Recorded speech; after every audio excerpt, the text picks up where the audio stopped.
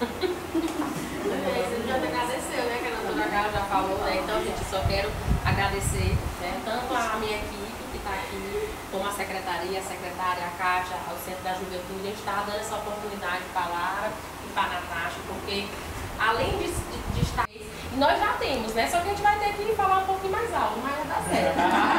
e a gente está sempre buscando, né? Onde a mulher ela não seja mais é, violentada, por todos os motivos, né? Então a gente está aqui para agradecer a cada um de vocês, agradecer a oportunidade de ser lembrada, né? Porque muitas vezes a gente ah, não lembrar do CRAM, mas toda vez a cara está aqui eu fico muito feliz e honrada, viu, cara? Obrigada.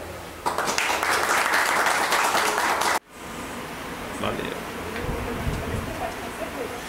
também na escola, elas fazem movimento, então assim, é, elas, elas trabalham o ano todo para ser reconhecida hoje.